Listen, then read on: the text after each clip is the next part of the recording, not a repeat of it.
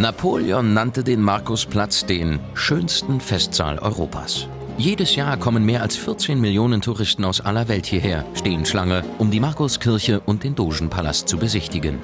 Gleich neben dem Markusplatz mündet der Canal Grande in die Lagune von Venedig. Die Stadt auf dem Wasser ist ständig vom Untergang bedroht. Die Architektin Silvia Raffaello lebt seit 15 Jahren in Venedig. Einer ihrer Lieblingsplätze, die Accademia-Brücke. Look at this, it's wonderful. Das ist einfach wunderbar. Wir sind hier von so viel Schönheit umgeben. Alles atmet Geschichte. Als Architektin hier in Venedig zu arbeiten, das ist natürlich anders als irgendwo sonst auf der Welt.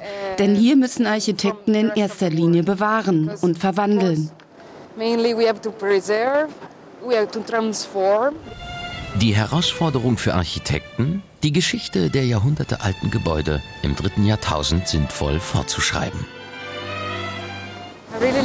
Ich mag den Palazzo Franchetti unheimlich gern. Das ist mein Lieblingsgebäude hier. Ich möchte, dass wir solche Bauten außen erhalten und innen verändern.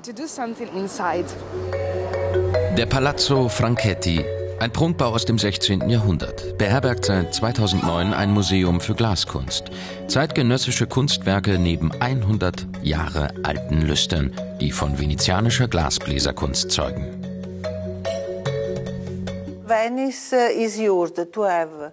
Uh, Venedig ist bekannt für seine lange und uh, reiche Geschichte, aber die Stadt ist auch offen für Neues.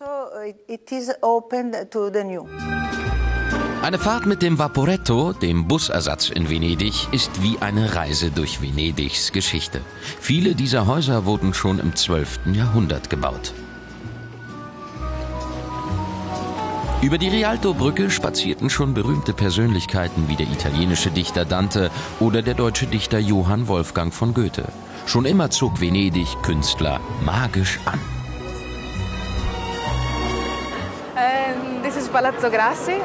Das ist der Palazzo Grassi. Hier wurde gute Arbeit geleistet und im Inneren alles komplett umgebaut.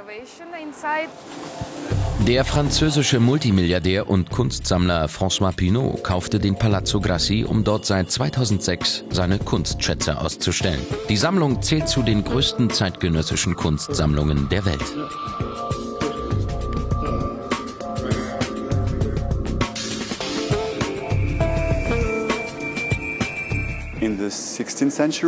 Im 16., 17. und 18. Jahrhundert waren alle wichtigen Künstler der Zeit in Venedig kreativ. Warum sollte das aufhören? Venedig ist immer noch eine sehr lebendige Stadt. Der Lido. Seit 80 Jahren treffen sich hier beim Filmfestival Kinostars aus der ganzen Welt. Venedig ist auf mehr als 100 Inseln gebaut, die durch über 400 Brücken miteinander verbunden sind. Mehr als 150 Kanäle dienen als Straßen. Der gesamte Verkehr findet auf dem Wasser statt. Am besten kann man die Stadt deshalb mit den traditionellen Gondeln erkunden. So sieht man auch die versteckten Ecken von Venedig.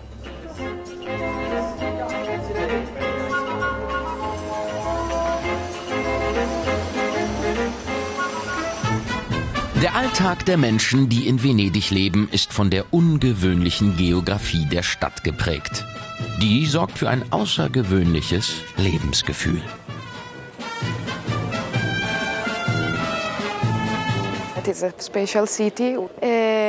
Es ist eine ganz besondere Stadt, eine langsame Stadt. Man muss immer zu Fuß gehen durch die Straßen, über Brücken, aber das hat eine interessante menschliche Dimension. Man grüßt die Leute, die man trifft und kommt ins Gespräch. Da es keine Autos gibt, bewegt man sich zu Fuß durch die Gassen und trifft dabei unheimlich viele Bekannte. Ihren Feierabend verbringen die Venezianer, wo etwas mehr Platz ist, wie hier am Campo Santa Margherita oder an der Strada Nova. Bei einem Glas Prosecco und Antipasti. Ein perfekter Auftakt für einen Abend in der magischen Lagunenstadt.